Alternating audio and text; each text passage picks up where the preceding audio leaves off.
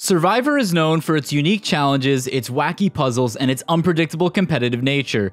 That is, unless you're Carson from Survivor 44 and have a 3D printer and have all the Survivor challenges in your very own backyard. The Survivor Challenge crew that has been designing these challenges ever since the very first season has introduced a plethora of mind bending puzzles that have left Survivor fans begging to try out for themselves. So I asked myself this question if I were on the show, which puzzles look the most fun to solve and which ones did I believe to be the most unique and interesting? What's up everybody, welcome back to a new video where today we'll be breaking down some of the most iconic puzzles in Survivor history. But before we get into today's video, make sure to subscribe, hit that like button, and turn on notifications so you're in the loop on when I post new content.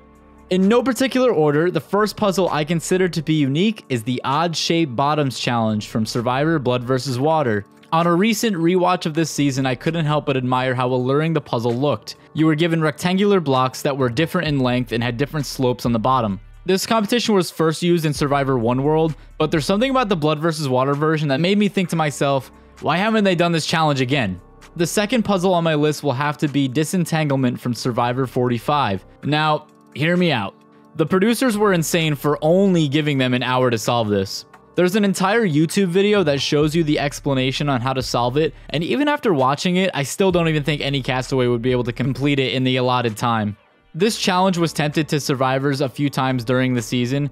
The first time this puzzle was introduced was during the premiere episode during the Savvy task, where survivors had to remove flint connected to a circle of rope. The first group of castaways that were able to complete Sweat and Savvy could bring back supplies to their camp, to nobody's surprise, no one was able to solve it. I still really like this puzzle though because of how challenging it is. Even Carson Garrett, Survivor's puzzle guru, tweeted about how it's one of the hardest puzzles he's ever solved. The next puzzle on our list at number 3 is actually a repeat offender. However, it doesn't ruin its replayability because of how different the producers make it every time. It's the Hanging Puzzle Challenge. There are several seasons that have used this challenge. In Survivor 33 and 43, it was a bat puzzle. In Survivor 39 and 42, it was a fish puzzle. In my opinion, I think Rocksroy was super excited to spend time helping solve this puzzle instead of being around his annoying wife and kids. Challenges like these are really unique because it adds gravity as a battling factor.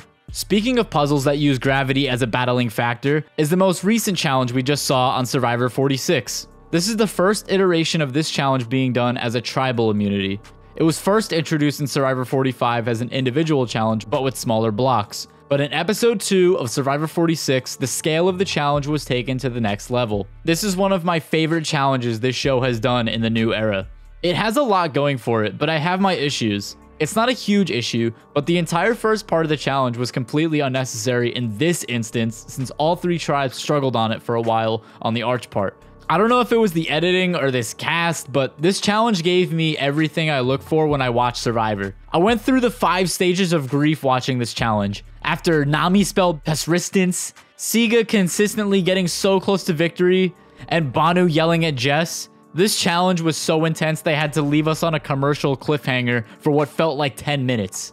Another sick puzzle Survivor should definitely bring back is the snake in the grass puzzle, first used in Survivor Philippines but reintroduced in David vs. Goliath. The puzzle doesn't include many pieces, but it's unlike your typical jigsaw. The pieces are cylindrical and bend, making it difficult to figure out which pieces go where. In Survivor Philippines, Jonathan Penner, a player who essentially was completely out of the challenge, was able to make an insane comeback with this puzzle in his season. The next puzzle on our list is from the final immunity challenge of Survivor Redemption Island. The main part of this challenge was a maze where contestants had to search for puzzle pieces. The final part of the challenge was a puzzle that was reminiscent of those origami paper games you would play as a kid. You had to spell out a common survivor phrase using these pieces. From the viewer's point of view, the puzzle didn't look too challenging, but this is me after trying to break apart the disentanglement puzzle. On a small scale, the puzzle looks straightforward, but I would like to see the producers bring this challenge back again. The challenge comes down to Boston Rob and Ashley being very neck and neck on the word scramble. And at one point, Boston Rob tries to get Ashley to work together with him. Both agree to work together, but neither actually follows through with it. Ultimately, it's Boston Rob who figures out the phrase, only you are safe, and what follows is one of the most memorable victory celebrations of all time. He is! Yeah! Rob Mariano wins final immunity! Wow! The seventh puzzle on my list is Pyramid Scheme. We've seen this challenge in Ghost Island, David vs. Goliath, but most recently in Survivor 43. This challenge was interesting specifically in this season because players had to create a cube first, take it apart, and then create a pyramid using those same blocks. It just goes to show you that Survivor is a show where you can watch a 19 year old Mormon pet cremator hit the griddy after successfully making a triangle. I mean, really, what more can you ask for in a show? I thought I had seen it all, but here we are. The next puzzle on my list is the Build Your Own Table Maze competition. What makes this challenge so unique is the fact that you are the one with all the power to create the maze. The goal is to get your ball into specific slots, but in order to do that, your table maze needs to be correct. If regular table mazers weren't hard enough, try having to create your own by solving a puzzle. And listen, I've tried out table mazes before. Here's some footage of me at Janet Carbin's Winners at War premiere party back in 2020. Table mazes are fun, guys. It's got the Andrew Yalo seal of approval. The next puzzle on the list is the final puzzle from Survivor South Pacific. To my best knowledge, this is the only time they've ever used a puzzle like this. It's the final part of the Out on a Limb challenge where you had to correctly place 8 different shapes in a rotating puzzle board. I like puzzles like this because unlike the table maze challenge we just talked about, there was only one solution to this and it had to be perfect. It's a decently unique puzzle because Survivor hasn't brought it back and I think they should. The 10th and final puzzle I believe to be super unique is the tower puzzles. Not as unique as the others on the list because we do see iterations of these puzzles in almost every season, but I just love the idea of it. I feel like doing this puzzle in person would be so rewarding, but challenging at the same time. We've seen this challenge used in seasons such as Island of the Idols, Game Changers, and many more. This is a challenge the Survivor producers can use over and over again because it can be different every time, making it unique.